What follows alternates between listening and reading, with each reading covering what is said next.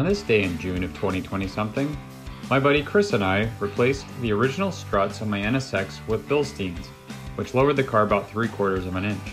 Stock ride height is just a bit too high, and my old shocks were not doing much.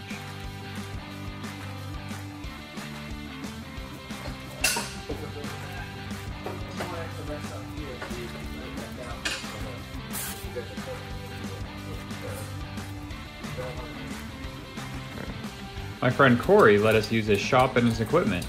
This was my first time using QuickJacks. They were really easy to use and really helped make the job a lot easier.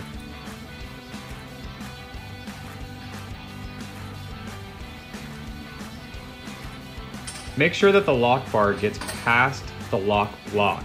The blue arrow is showing the proper alignment. Do not allow the release cam, shown with the red X, to get behind the lock block. The weight of the vehicle needs the strength of the lock bar. Alright, let's go. Here is the front assembly. Remove the nut and bolt holding on the strut, shown with the green arrow. Also remove the nut to remove the sway bar, shown with the blue arrow. The orange arrow bolts might be optional, but we found it easier to have the speed sensor line out of the way. There are two bolts seen here and two more to the right on the back side of the hub. Remove the two bolts here to detach the brake line bracket. You do not need to reuse this bracket on the Bilstein since they have a built-in spot to attach it. The orange arrow is showing the brake line bracket from the other side. Having this loose makes it easier to remove the strut. If we remove the nut for the sway bar, it can rotate out shown with the green arrow.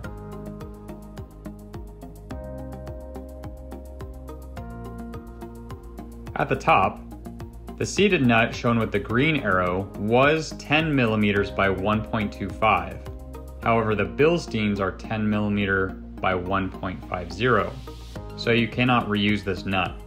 You will need to purchase new ones if yours did not include them, to get the old one off, I recommend hitting it with an impact wrench until it breaks free, but don't take it off all the way until the strut is removed from the vehicle. The three orange arrows point to the nuts that will also need to be removed. They're under these black plastic covers that pop off easily. Since we didn't have the nuts on hand, we went to Wilco to buy some.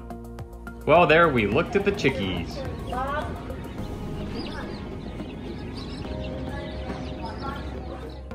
Then we got some McDonald's, and they gave us more food than we ordered.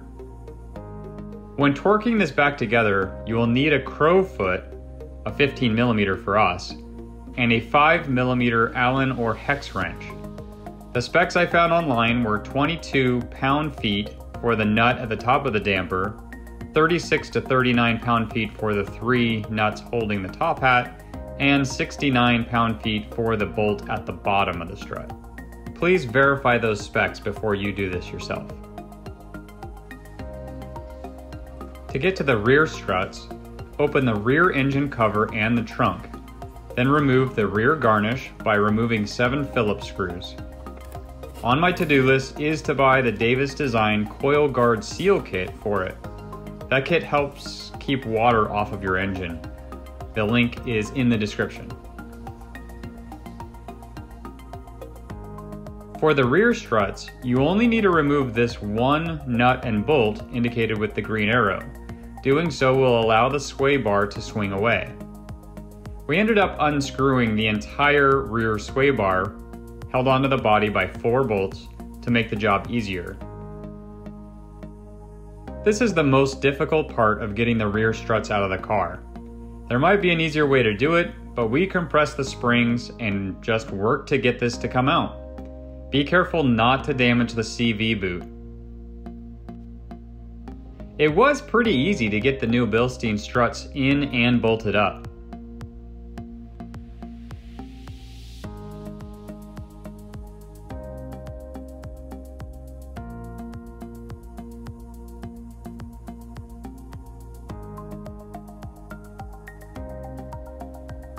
This is how the car sat after the install but before driving it around, which will allow it to settle a bit more.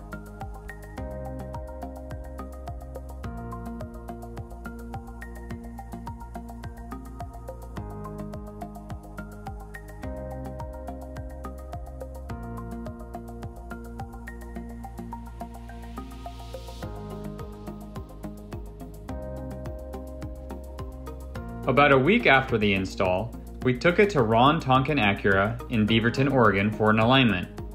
They have worked on my car before and I was impressed with their work. Here are the results of the alignment. They couldn't get the rear wheels into the recommended spec by about half a degree due to the car's new height. I will have it checked again maybe next spring. Spring? Helka Helka? I'm not really sure where Helka Helka originated from, but it's something my father in law has said for a long time. We took Germantown Road back since that is a pretty drive and has a lot of windy roads. The NSX handled it beautifully.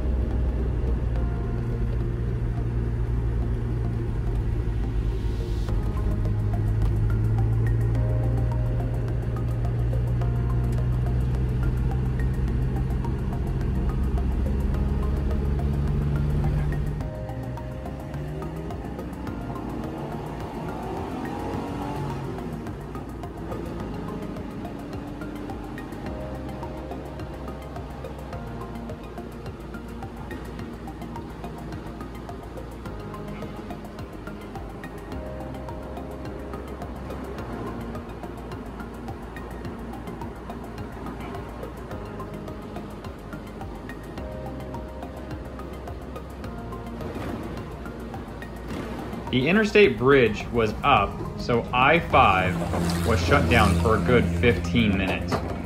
And we sat next to a cow truck. I leave you with a photo of my car after the install from Bi-Turbo A4 at ProTech for an Avance magazine release. My car can be found on page 121 of their latest magazine.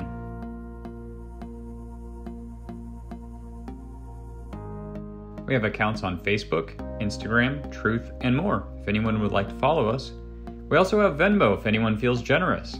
All of our links are in the video description.